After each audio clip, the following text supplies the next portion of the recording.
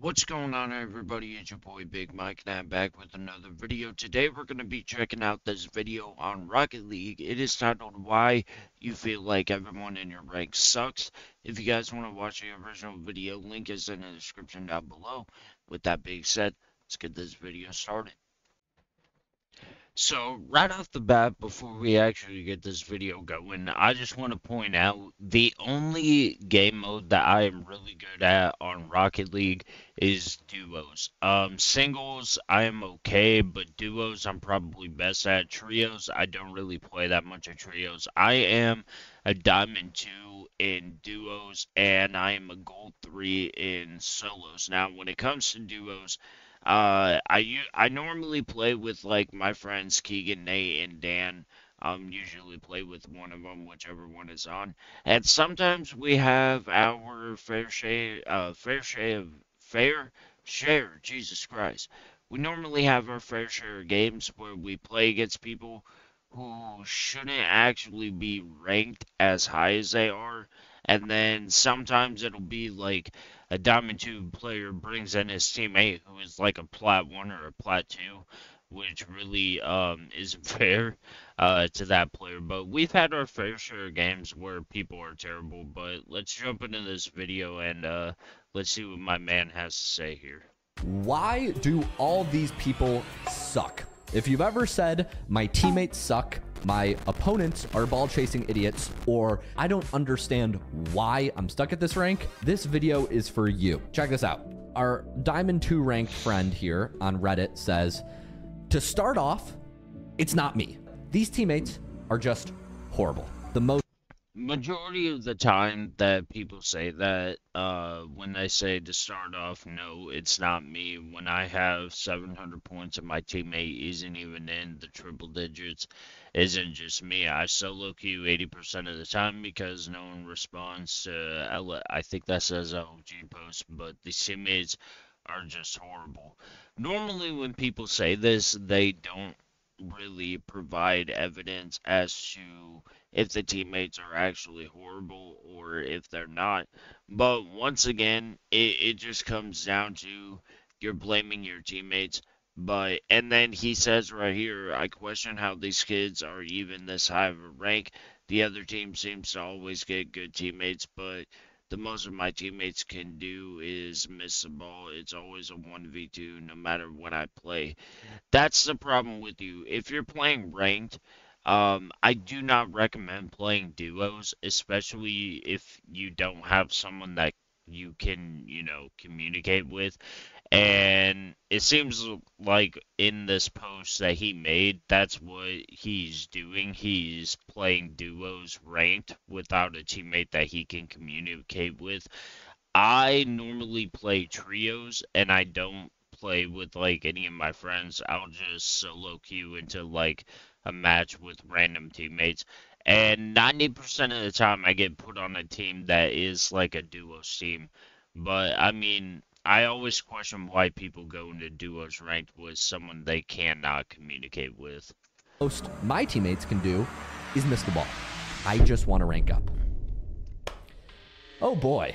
We're just going to break this one down from a fundamental standpoint so you understand if you're watching, why this guy will never rank up. And I'm going to explain to you what's holding you back more than any mechanic or any teammate possibly could. First off, victim mentality. Before you even get into ranked, he's saying, I solo queue this much of the time because no one responds to LFG posts. Okay, let me give you the number one rule of how to. The only thing I'm going to say real quick is um, stop making LFG posts and then just make friends.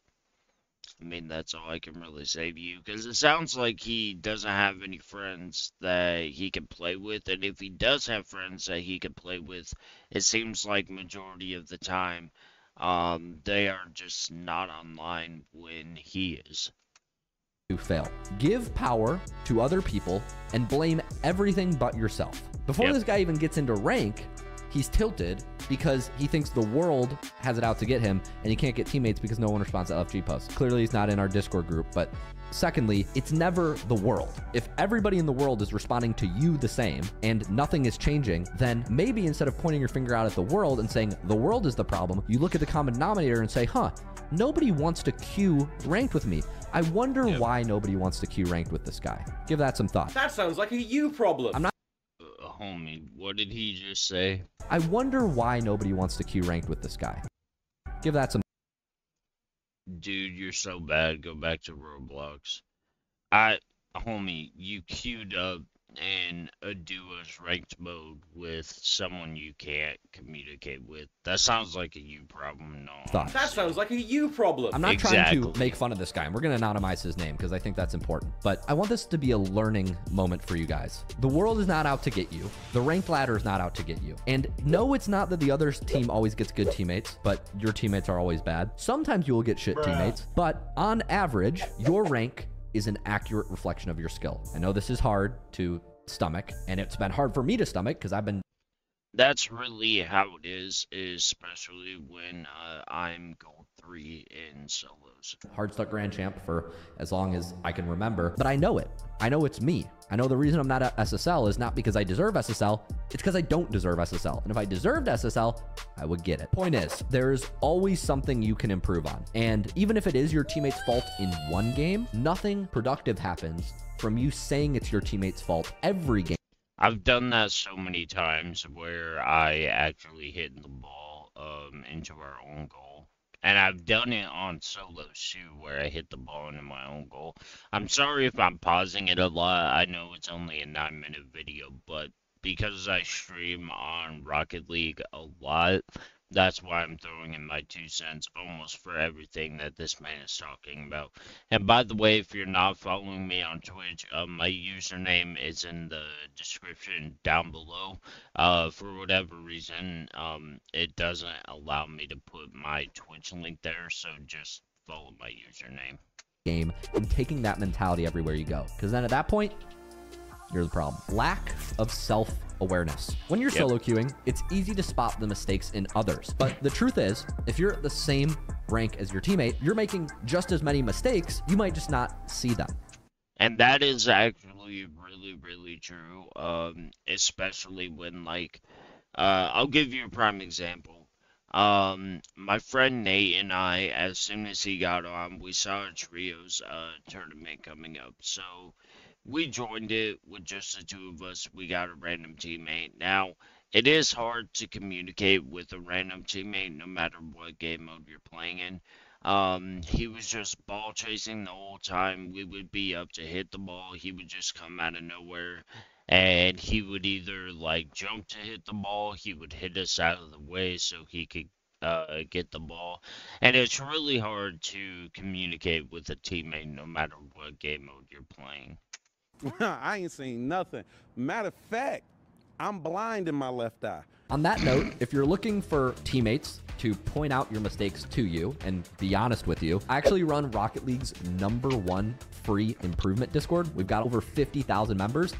Or you could just have friends that you can play with. It's called the Grand Champ Bootcamp Free Edition. And you can go there for free looking for group channels and to find teammates to voice chat with when you queue ranked. Or if you're a serious competitive player and you're mature and you're 18 plus years old, you should also know I started a paid matchmaking service called the Grand Champ Bootcamp Unlimited, where we pair you with a professional coach that can tell you exactly what you're doing wrong and how to fix it. So whether you're looking for free options, I know life on Rocket League, don't get me wrong. Um, once again, uh, if you have not seen my stats, uh, the link to my Twitch is in the description, not the link, but the username.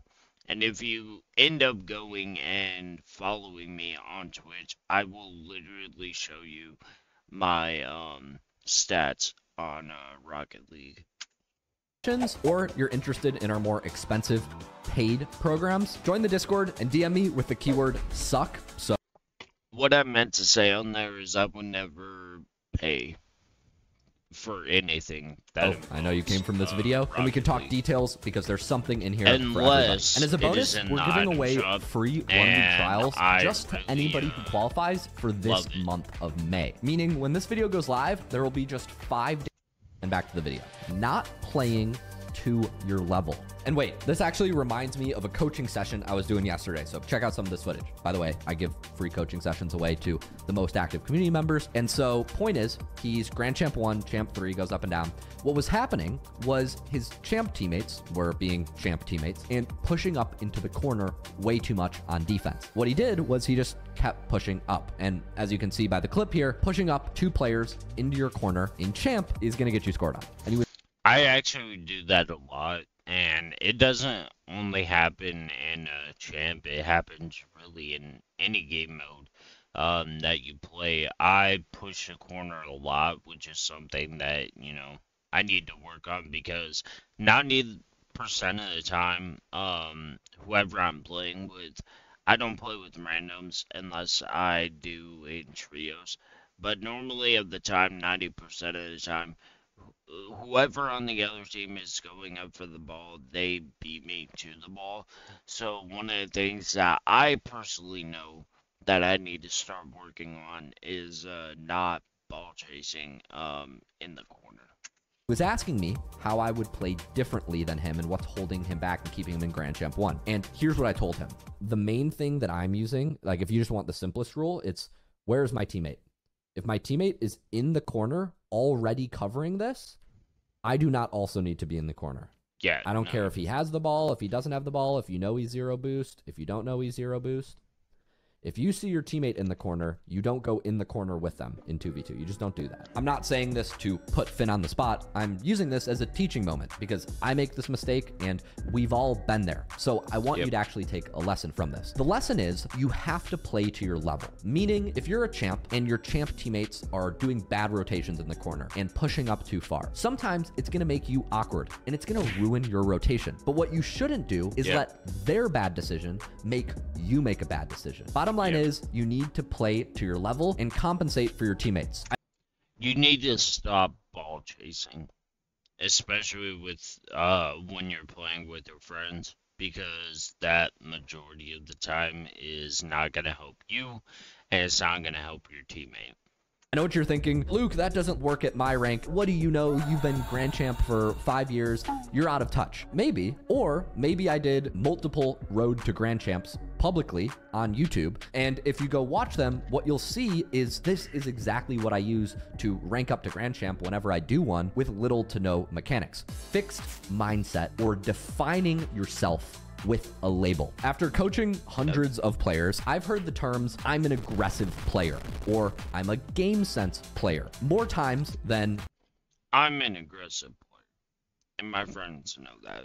I wish I have. Bro, that was the double wumble combo wumble burger fake, bro. When you label yourself, I'm a passive player, you're almost forcing yourself to play in a box. Sorry, oh, I'm sorry, don't hurt me, sorry. Meaning, when you get into a ranked game and there's a decision that's 50 50, if you say you're a passive player, you're going to go for the more passive option. And that's not right. You need to go for the option that's the correct answer or the highest percentage play. So, for example, I'm not gonna lie, um, me and my friend Nate, we are both um really competitive. Both of us will go for a ball. Him and I always have this issue of we don't communicate a lot, where it's just with uh me and Dan. Him and I always communicate the most. And Dan and I can be competitive, but Dan is not as uh competitive as me and Nate. He like he he likes to play smart. That's just the reality of the situation. example, if your teammate is continuously going for the ball, he's ball chasing. I'm not fucking leaving. The show goes on. and you want to go for the ball, it should be your turn. But your Diamond or Champ 2 teammate is still going for the ball. Do you just cut them off and say, "It's my turn. I deserve to go for the ball. Let me let me get it." No. You only get to go when it's your turn and when it's best for your team. And that's why you do not um queue up in duos with a teammate that you cannot communicate with. The point is, playstyle shouldn't be a permanent thing. It should be liquid. you know, be like water or whatever Bruce Lee said. Be water, my friend. Pushing blame to your teammates. It's easy to jump to conclusions, especially when I things don't go your way. bro, This game is I love Abe Slays and his rage compilations. Uh, look him up on YouTube and look up his rage compilations. They are absolutely hilarious. so effing horrible. Freaking about to lose my effing mind, bro. I know for me, when I get scored on, I almost instantly ask myself, what was my teammate doing there? Why would he commit for the ball? Etc. Etc. But every time I catch myself saying this, I pause because taking ownership is the difference between good players and great players. So, was it your teammate's fault? Maybe, but can you control them? No. So, And that right there is So, the was it your teammate's fault? Why I do not uh, solo queue in duos. It's always gonna be trios. No matter what the game mode is, it could be regular, it could be rumble. I don't normally play drop shot or uh, ice hockey, but so uh, not solo uh, trios and um, uh, I'm trying to think of it. Um, rumble are the only two trio game modes that I play. Maybe, but can you control them? No. So control what you can control, which is obviously only yourself. You're staying too long in the play. In solo Yep. queue, a confused teammate is a bad teammate. So what you might not realize is your teammate is And that is a teammate that you cannot communicate with. actually good. You're just confusing them. When your teammate sees very obviously that you're going for the ball in front of them, or that you're just being very clear with how you're moving around the field, it makes That happened in the uh, trios match that Nate and I played well the trios um tournament. their decision making easier and therefore better. You can't rely on your teammates to read your car language or body language or Yep. whatever we want to call this.